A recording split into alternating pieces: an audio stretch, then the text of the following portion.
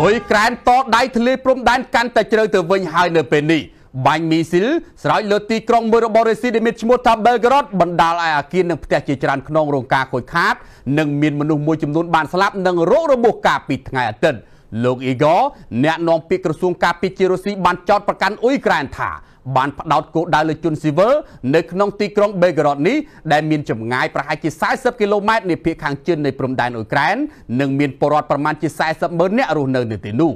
អ្នកនាំពីរុំនេះបានសង្កត់ធ្ងន់បន្ថែមថាអ៊ុយក្រែនបានរៀបចំនិងមានចេតនាបើកការវាយប្រហារដោយមីស៊ីលលើជនស៊ីវិលឥតរើសមុខដែលនេះគឺជាទង្វើបង្កចំនួនដោយផ្ទាល់ហេតុដូច្នេះរុស្ស៊ីដាច់ខាតត្រូវតែឆ្លើយតបវិញ។ រីឯលោក Gulagau អភិបាលក្រុងបេការ៉តនេះបានលើកឡើងថាមានមនុស្សយ៉ាងតិច3នាក់បានស្លាប់និងមានអាគារអាប៉ាតមិនយ៉ាងច្រើនយ៉ាងហោចណាស់ក៏មាន11ព្រមទាំងផ្ទះចំនួន36ខ្នងត្រូវបានបំផ្លាញដោយឡែកអ្នកភូមិម្នាក់បានរៀបរាប់ស្រដៀងទៅនឹងអ្វីដែលប្រតអ៊ុយក្រែនធ្លាប់បានជួបនៅពេលកន្លងមកយ៉ាងដូចនេះថាសំលេងនៃកម្លាំងផ្ទុះពិតជាខ្លាំងណាស់រហូតធ្វើឲ្យខ្ញុំភ្ញាក់តក់ស្លុតនិងចាប់ផ្ដើមស្រែកខ្លាំងតែម្ដង រដ្ឋាភិបាលទីក្រុងមូស្គូតែងតែចោទប្រកាន់អ៊ុយក្រែនថាបានបើកការវាយប្រហារមួយចំនួនលើទីក្រុងបេការ៉តនិងតំបន់ផ្សេងទៀតនៅក្នុងទឹកដីរុស្ស៊ីដែលស្ថិតនៅក្បែរព្រំដែនអ៊ុយក្រែនទោះជាយ៉ាងណារដ្ឋាភិបាលទីក្រុងគៀវមិនដែលចេញមុខអះអាងទទួលខុសត្រូវនោះឡើយប៉ុន្តែបានចាត់ទុកហេតុការណ៍ទាំងនេះថាគឺជាកម្មផលដែលរុស្ស៊ីបានសាងមកលើអ៊ុយក្រែននាពេលបច្ចុប្បន្ននេះអាមេរិកហ៊ានឬទេក្នុងបរិបទសង្គ្រាមនៅអ៊ុយក្រែនគឺរុស្ស៊ីទើបតែចាប់ផ្ដើមតែប៉ុណ្ណោះ មិនទាន់លេងពេញទីនៅឡើយទេបើលោកខាងលិចចង់បំបាក់រុស្ស៊ីឲ្យទន់លងនៅក្នុងសង្គ្រាមនៅអ៊ុយក្រែនហើយចាំងសាកមើលទៅរុស្ស៊ីនឹងបន្តធ្វើសង្គ្រាមរហូតដល់តែអ៊ុយក្រែនសល់តែដង្ហើមចង្រិតនេះគឺជាសម្ដីប្រមានក្តែងក្តែងចេញពីមាត់ប្រធានាធិបតីចិត្តលូលោក Vladimir Putin ដែលត្រូវបានដកស្រង់យកមកចុះផ្សាយដោយបណ្ដាញសារព័ត៌មាន CNN លោក Vladimir Putin បានប្រមានកប់កប់មាត់យ៉ាងដូចនេះ អំឡុងពេលជួបប្រជុំជាមួយនឹងថ្នាក់ដឹកនាំសភាជាន់ទាបរបស់រុស្ស៊ីស្តេឌូម៉ាជាលើកដំបូងក្នុងរយៈពេលជាង4ខែកន្លងមកនេះអំឡុងពេលនោះលោកវ៉ាឡាឌីមៀពូទីនប្រើសុទ្ធតែជាភាសាសឹកតែម្ដងបូរោះខ្លាំងរបស់រុស្ស៊ីរូបនេះបានប្រមាននៅក្នុងសម្រងសម្ដីដើមបែបនេះថាយើងលឺឡើងសឹកទៅជារួចមកហើយថាលោកខាងលិចចង់បំបាក់យើងនៅក្នុងសមរភូមិហើយចឹងបើចង់ដឹងឲ្យពួកគេសាកមើលទៅ លោកបានបន្តថាយើងក៏បានឮជាច្រើនលើកច្រើនសារហើយដែរថាលោកខាងលិចត្រៀមខ្លួនប្រយុទ្ធតតាំងជាមួយយើង រហូតដល់តែអ៊ុយក្រែនសល់តែទាហានចុងក្រោយក៏មិនរាថយដែរនេះពិតជាសោកនាដកម្មសម្រាប់ពលរដ្ឋអ៊ុយក្រែនទោះបីជាយ៉ាងណាក៏ដោយអ្វីអ្វីទំនងជាឈ្មោះទៅរកផ្លូវបែបនេះហើយអ្វីត្បិតប៉ុនមានខ្លាំងខ្លាំងបែបនេះក៏ពិតមែន ប៉ុន្តែលោកពូទីននៅតែរក្សាជំហរចង់ដោះស្រាយចំនួននៅអ៊ុយក្រែនតាមរយៈយន្តការការទូតដដែល ដោយបានថ្លែងបែបនេះថា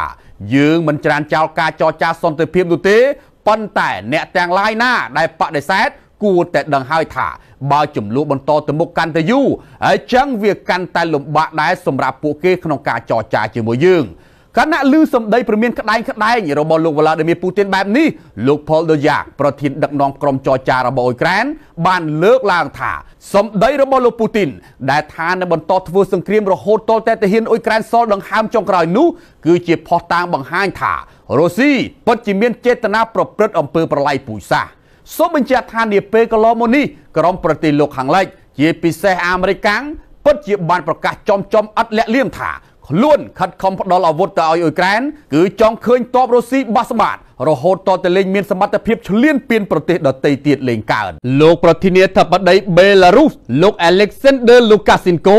បានប្រកាសជំហរសារជាថ្មីថានឹងឈោះក្បែររុស្ស៊ីដែលជាមិត្តដៃថែបរបស់ខ្លួន តាំងពីសម័យសង្គ្រាមសហភាពសូវៀតនៅក្នុងការឈ្លានពានអ៊ុយក្រែនបើទោះបីជាពិភពលោកចង់រិះគន់ខ្លួនយ៉ាងណាក៏ដោយ។ យោងតាមសារព័ត៌មានដែលទទួលបានដោយគេហទំព័រ Reuters បានបន្តឲ្យដឹងថាលោកលូកាស៊ីនកូបានប្រកាសគាំទ្ររុស្ស៊ីពេញទំហឹងអំឡុងបទថ្លែងសន្និកថានៅក្នុងពិធីគម្រប់ខួបរំដោះរដ្ឋធានីមែននៅក្រោយសង្គ្រាមលោកលើកទី2នេះឱកាសនោះដដែលលោកបានមានប្រសាសន៍ថាថ្ងៃនេះយើងត្រូវបានពិភពលោករិះគន់ដោយចោទថាយើងជាប្រទេសតែមួយគត់ដែលគាំទ្ររុស្ស៊ីក្នុងការវាយប្រហារបណ្ដេញពួកណាស៊ី បើទោះបីជាយ៉ាងណាក្តីយើងនៅតែគ្រប់គ្រងហើយក៏បន្តឈរពីក្រោយរុស្ស៊ីបែបនេះតទៅមុខទៀតស្របពេលដែលបេឡារុសទទួលស្គាល់ជាលើកដំបូងថាខ្លួនគាំទ្ររុស្ស៊ីតាំងពីពេលផ្ទុះសង្គ្រាមជាលើកដំបូងកាលពីថ្ងៃទី24ខែកុម្ភៈនោះលោកលូកាស៊ីនកូបានបោះពាក្យសម្ដីថាចំពោះអ្នកដែលព្យាយាមរិះគន់ពួកយើងតើពួកគេមិនបានដឹងអំពីចំណងមិត្តភាពរវាងបេឡារុសនិងសហភាពរុស្ស៊ីទេឬក៏យ៉ាងណា ដោយឡែកបើកលេចទៅមើលអ៊ុយក្រែនវិញប្រធានាធិបតីវ៉ូឡូឌីមៀហ្សេឡិនស្គីបានមានប្រសាសន៍ថាកងកម្លាំងរុស្ស៊ីកំពុងតែបង្កើនការវាយប្រហារលើទីក្រុងភាគខាងកើតប្រទេសរួមមានស្លូវិននិងទីក្រុងក្រាម៉ាឆុកកាលពីថ្ងៃអាទិត្យហើយទីក្រុងហ្គាគៀវក៏រងការខូចខាតកាន់តែខ្លាំងផងដែរដោយសារតែប្រព័ន្ធមីស៊ីលរបស់រុស្ស៊ីក្រោមស្ថានភាពដែលហាក់ទៅគ្មានទូស្បើយលោកវ៉ូឡូឌីមៀហ្សេឡិនស្គីបានមានប្រសាសន៍ថា រុស្ស៊ីមានអាវុធគ្រប់គ្រាន់ដែលអាចកំទេចទីក្រុងណាឲ្យមុតក៏បានដែរទូទាំងប្រទេសអ៊ុយក្រែនចំណែកឯទីក្រុងលីស៊ីឆិនដែលជាទីក្រុងយុទ្ធសាស្ត្រដ៏សំខាន់នោះក៏កំពុងតែប្រយុទ្ធគ្នាយ៉ាងក្តៅគគុកផងដែរប៉ុន្តែ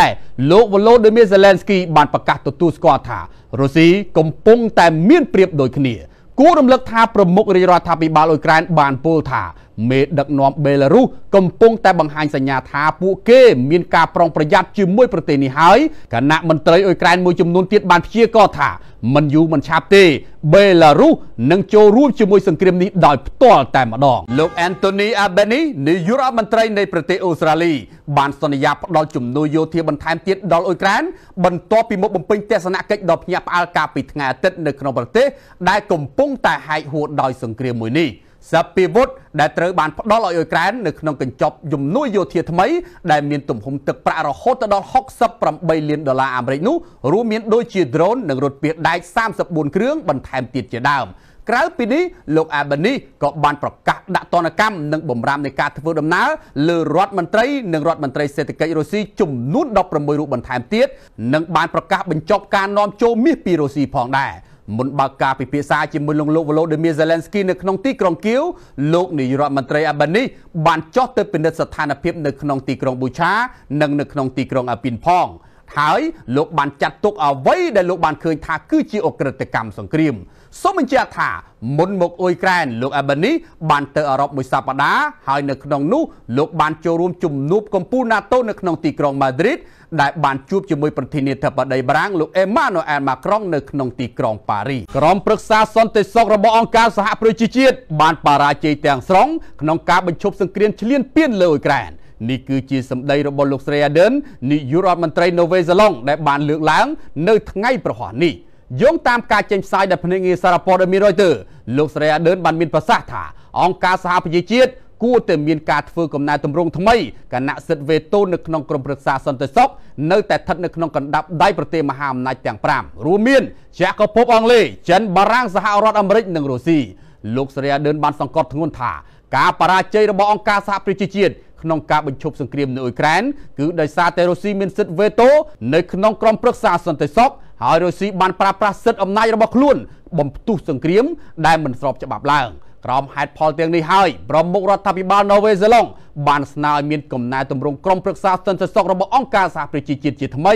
ដើម្បីធានាឲ្យបានថាតម្លៃនិងសត្យានុភាពរបស់ UN នៅតែអាចរក្សាបាន តាមរយៈរបាយការណ៍ពីប្រភពដដែលបានឲ្យដឹងថាលោកសេរីអាដឺនបានស្នើទៅកាន់តុលាការព្រហ្មទណ្ឌអន្តរជាតិឲ្យស្វែងរកផុសតាងដែលខ្លួនត្រូវការនិងចាត់ការបដអក្រិតសង្គ្រាមនេះឲ្យបានសមស្របទៅតាមច្បាប់សូមជម្រាបជូនថាប្រមុខដឹកនាំនៃប្រទេសនូវេសេឡុងមានបំណងចង់ឲ្យអង្គការសហប្រជាជាតិធ្វើកំណែតម្រង់ក្រុមប្រឹក្សាសន្តិសុខដើម្បីបាក់ឲ្យមានការថ្កោលទោសជាផ្លូវការលើរុស្ស៊ីហើយនូវេសេឡុងផ្ទាល់ក៏ស្ម័គ្រចិត្ត ចេញមកគាំទ្រអ៊ុយក្រែននៅលើតុលាការអន្តរជាតិផងដែរ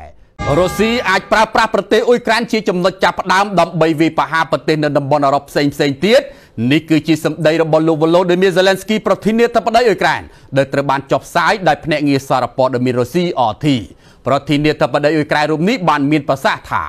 នៅក្នុងក្រសែភ្នែករបស់រុស្ស៊ីគឺចាត់ទុកទឹកដីរបស់យើងជាទីតាំងឈរជើងដើម្បីវាយដណ្ដើមយកប្រទេសផ្សេងផ្សេងទៀតនៅតំបន់អឺរ៉ុប នេះគឺមានន័យថាការធានាសន្តិសុខសម្រាប់អ៊ុយក្រែនគឺដូចជាការផ្ដល់ការធានាសន្តិសុខរយៈពេលយូរសម្រាប់តំបន់អឺរ៉ុបទាំងមូលអញ្ចឹងគណៈលោកវ៉ូឡូឌីមៀសេឡិនស្គីចោតប្រកាន់បែបនេះលោកសឺជីឡារ៉ូរដ្ឋមន្ត្រីក្រសួងការបរទេសរុស្ស៊ីបានចោតប្រកាន់ទៅវិញផងដែរថាគឺក្រមប្រទេសលោកខាងលិចទៅវិញទេ ដែលកំពុងតែស្វាស្វែងប្រែក្លាយអ៊ុយក្រែនទៅជារដ្ឋនីអូណាស៊ីដើម្បីបង្កការគំរាមកំហែងដល់សន្តិសុខរបស់រុស្ស៊ី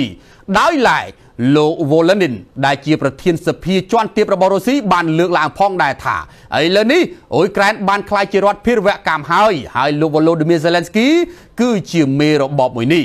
ឮយ៉ាងដូចនេះអ៊ុយក្រែននិងលោកខាងលិចបានឆ្លើយតបវិញផងដែរថាការលើកឡើងរបស់រុស្ស៊ីគឺគ្មានមូលដ្ឋាននោះទេ ហើយរុស្ស៊ីព្យាយាមអះអាងបែបនេះគឺគ្រាន់តែដើម្បីលុបលាងទោសកំហុសរបស់ខ្លួនតែប៉ុណ្ណោះ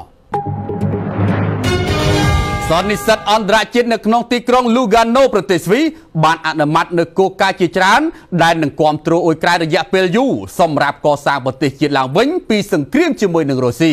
សេចក្តីអនុម័តនេះត្រូវបានធ្វើឡើងពេលបិទបញ្ចប់សន្និសិទស្តីអំពីការស្ដារអ៊ុយក្រែនឡើងវិញដែលធ្វើឡើងរយៈពេល2ថ្ងៃដែលមានការចូលរួមពីអង្គការអន្តរជាតិនិងថ្នាក់ដឹកនាំមកពីជាង40ប្រទេសលោក Gassis ប្រធាននាយកដ្ឋានសហព័ន្ធនៃក្រសួងការបរទេសស្វីបានលើកឡើងថានៅក្នុងសេចក្តីសម្រេចខាងលើគឺនឹងមានការផ្តល់ជំនួយសេដ្ឋកិច្ចនិងបច្ចេកវិទ្យារយៈពេលវែងដល់ប្រទេសអ៊ុយក្រែនប្រកបដោយដំណាភាពសមភាពនិងភាពជាដៃគូ ប្រធាននាយកដ្ឋានរំនេះបានលើកឡើងបន្តថាចំណាត់ការខាងលើនឹងផ្ដល់ឲ្យអ៊ុយក្រែនបាននូវសេចក្តីសង្ឃឹមនិងភាពប្រកបវិជ្ជាថា ពួកគេមិនមែនឯកាម្នាក់ឯងនោះទេព្រោះការជួយស្ដារប្រទេសអ៊ុយក្រែនឡើងវិញគឺនឹងធ្វើឡើងឲ្យស័ក្តិសមសម្រាប់អនាគតនៃប្រជាពលរដ្ឋនៃប្រទេសនេះសូមបញ្ជាក់ថាកាលពីថ្ងៃច័ន្ទលោកនាយករដ្ឋមន្ត្រីអ៊ុយក្រែនលោកដេនីបានមានប្រសាសន៍ថាផែនការស្ដារប្រទេសអ៊ុយក្រែនឡើងវិញគឺនឹងត្រូវចំណាយប្រាក់ប្រមាណជា750ពាន់លានដុល្លារហើយថាទ្រព្យសម្បត្តិរបស់រុស្ស៊ីអាចនឹងរឹបអូសបានគួរតែយកមកប្រើប្រាស់ក្នុងផែនការនេះ ប្រទេសលោកខាងលិចទាំងនេះកំពុងតែចង់ប្រែក្លាយប្រទេសអ៊ុយក្រែនជាសម្បុកក្រុមយោធារបស់ពួកណាស៊ីដែលអាចបង្កការគំរាមកំហែងដល់ផ្នែកសន្តិសុខជាតិរបស់រុស្ស៊ីនេះគឺជាសម្ដីរបស់រដ្ឋមន្ត្រីការបរទេសនៃទីក្រុងមូស្គូរបស់លោករ៉ារ៉ូដែលត្រូវបានដកស្រង់ដោយសារព័ត៌មាននៅក្នុងស្រុក TASS តាមរយៈប្រពន្ធដដែលខាងលើបានឲ្យដឹងបន្តថា អំឡុងពេលជួបសំណេះសំណាលជាមួយនឹងប្រមុខដឹកនាំនៃប្រទេសម៉ុងហ្គូលីលោកឡារ៉ូបាននិយាយរៀបរាប់ពីដំណើររឿងនៃការបើកប្រតិបត្តិការយោធាពិសេសនៅក្នុងប្រទេសអ៊ុយក្រែននៅគណៈនោះដែរលោកបានមានប្រសាសន៍ថាយើងចង់បកស្រាយការពិតអំពីចរិតពិតរបស់មេដឹកនាំរដ្ឋាភិបាលទីក្រុងគៀវរបស់អ៊ុយក្រែននិងអកប្បកិរិយារបស់បុគ្គលរូបនេះនៅលើឆាកអន្តរជាតិ លោកឡារ៉ូបាននិយាយរិះគន់ចំចំថាអ្វីដែលគួរឲ្យសោកស្ដាយបំផុតនោះគឺថាប្រទេសលោកខាងលិចកំពុងតែព្យាយាមគ្រប់យ៉ាងដើម្បីបំបិតព័ត៌មានរុស្ស៊ីហើយតាំងខ្លួនជាអ្នកផ្សព្វផ្សាយព័ត៌មានពិតដោយគ្មានផុសតាងអ្វីទាំងអស់នៅក្នុងដៃដោយឡែកបើងាកមកមើលដំណើរទស្សនកិច្ចនៅឯប្រទេសម៉ុងហ្គូលីពីសំណាក់រដ្ឋមន្ត្រីការបរទេសរុស្ស៊ីឯណោះវិញគេទទួលបានថា រុស្ស៊ីកំពុងតែមានបំណងកសាងទំនាក់ទំនងជាមួយប្រទេសនេះគណៈប្រទេសលោកខាងលិចកំពុងតែព្យាយាមរុញច្រានរុស្ស៊ីឲ្យនៅឯកោជាមួយនឹងការទម្លាក់កញ្ចប់ទណ្ឌកម្មធំធំជាច្រើនរដ្ឋមន្ត្រីរុស្ស៊ីលោកស៊ឺជីឡារ៉ូបានជួបផ្ទាល់ជាមួយសមាភិកីម៉ុងហ្គូលី គឺលោកស្រីបាត់សេសេកនិងបានសម្ដែងភារវកិច្ចទៅកាន់ប្រធានាធិបតីម៉ុងហ្គូលី គឺលោក Korel Sok ផងដែរកាលពីម្សិលមិញ យ៉ាងណាក៏ដោយភាគីម៉ុងហ្គូលីនិងរុស្ស៊ីមិនបានផ្ដល់ព័ត៌មានលម្អិតអំពីកិច្ចពិភាក្សារបស់ខ្លួនទៅកាន់ក្រុមអ្នកសារព័ត៌មានឡើយប៉ុន្តែគេអាចដឹងច្បាស់ហើយថារុស្ស៊ីកំពុងតែមានបំណងរឹតចំណងមិត្តភាពទ្វេភាគីជាមួយប្រទេសម៉ុងហ្គូលីសូមបញ្ជាក់ថាប្រទេសម៉ុងហ្គូលីគឺស្ថិតនៅចន្លោះប្រទេសរុស្ស៊ីនិងចិនហើយកន្លងមកប្រទេសនេះតែងតែរក្សាទំនាក់ទំនងល្អជាមួយប្រទេសជិតខាងទាំងពីររួមជាមួយសហរដ្ឋអាមេរិកផងដែរបច្ចុប្បន្ន ម៉ុងហ្គូលីបានចុះកិច្ចព្រមព្រៀងពាណិជ្ជកម្មជាមួយរុស្ស៊ីហើយថែមទាំងបានអនុញ្ញាតឲ្យយៈនុយក្លេអ៊ែរនេះដឹកជញ្ជូនហ្គាសធម្មជាតិឆ្លងកាត់ប្រទេសខ្លួនទៅកាន់ប្រទេសចិនផងដែររដ្ឋមន្ត្រីទូតអាមេរិកបានបង្ហើបថានៅសប្តាហ៍នេះលោក Anthony Blinken រដ្ឋមន្ត្រីក្រសួងការបរទេសអាមេរិកនឹងអំពាវនាវឲ្យក្រុមប្រទេស G20 ដាក់សម្ពាធលើរុស្ស៊ីដើម្បីឲ្យប្រទេសនេះគ្រប់គ្រងដល់កិច្ចខិតខំប្រឹងប្រែងរបស់អង្គការសហប្រជាជាតិដែលកំពុងតែស្វះស្វែងធ្វើយ៉ាងណាឲ្យមានការបើកផ្លូវសមុទ្រឡើងវិញហើយក្រៅពីនេះលោក Blinken ក៏បានពមៀនម្ដងទៀតដល់ប្រទេសចិនកុំឲ្យគ្រប់គ្រងរុស្ស៊ីក្នុងការធ្វើសង្គ្រាមឈ្លានពានអ៊ុយក្រែនផងដែរលោក Anthony Blinken បានធ្វើដំណើរមកកាន់តំបន់អាស៊ីនៅថ្ងៃពុធនេះសម្រាប់កិច្ចប្រជុំនៃក្រុមរដ្ឋមន្ត្រីការបរទេស G20 ដែលនឹងធ្វើឡើងនៅលើកោះបាលីនៅថ្ងៃសុក្រនេះ ដំណើរទស្សនកិច្ចរបស់រដ្ឋមន្ត្រីការបរទេសអាមេរិករួមនេះនឹងរួមបញ្ចូលកិច្ចប្រជុំលើកដំបូងរបស់លោកជាមួយសមាភិកីចិន គឺលោកវ៉ាងយីបើគិតចាប់តាំងពីខែតុលាមកប៉ុន្តែទំនងជាគ្មានជំនួបណាមួយជាមួយរដ្ឋមន្ត្រីការបរទេសរុស្ស៊ីគឺលោកសឺជីឡារ៉ូនោះឡើយ លោក Ramen ដែលជាជំនួយការទទួលបន្ទុកកិច្ចការសេដ្ឋកិច្ចនិងធុរកិច្ចនៃក្រសួងការបរទេសអាមេរិកបានប្រាប់អ្នកសារព័ត៌មានថាលោក Anthony Blinken នឹងលើកឡើងអំពីបញ្ហាសន្តិសុខធម្មពលនិងគំនិតផ្ដួចផ្ដើមរបស់អង្គការសហប្រជាជាតិដើម្បីព្យាយាមធ្វើយ៉ាងណាឲ្យស្បៀងអាហារនិងជីរបស់អ៊ុយក្រែននិងរុស្ស៊ីបានវិលត្រឡប់មកកាន់ទីផ្សារពិភពលោកវិញហើយទន្ទឹមគ្នានោះក៏គេរំពឹងថាស្ថានភាពអ៊ុយក្រែននឹងមានការផ្លាស់ប្ដូរផងដែរក្រោយលោក Blinken បានជួបពិភាក្សាជាមួយនឹងលោកវ៉ាងយីនៅថ្ងៃសៅរ៍